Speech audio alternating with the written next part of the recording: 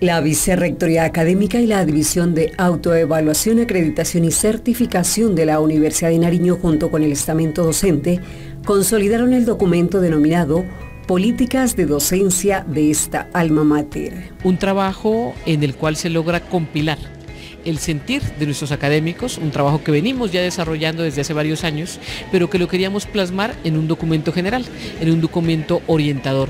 Las políticas son justamente eso, los lineamientos generales que debe tener en cuenta la universidad para cumplir con sus propósitos misionales, en particular con la docencia universitaria, con la docencia de la universidad, con esta función que involucra tres dimensiones, los docentes, los estudiantes y los procesos académicos. Este documento es el resultado desarrollado a través de mesas de trabajo donde participaron más de 200 profesores y estudiantes de diferentes facultades de la Universidad de Nariño, donde se discutió el documento marco sobre políticas de docencia. Que nos permitirá posteriormente sacar las reglamentaciones que sean necesarias y establecer un plan de acción.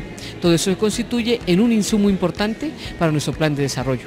Como conclusiones tenemos aportes importantes por parte de muchos de los académicos que nos han pedido replantear algunos aspectos o que nos han ayudado a construir. De eso se trata, que construyamos juntos, aceptamos por supuesto aquellos aportes, aceptamos las críticas constructivas y respetuosas de nuestros docentes y estamos por supuesto dispuestos a continuar con esta labor fundamental para la universidad.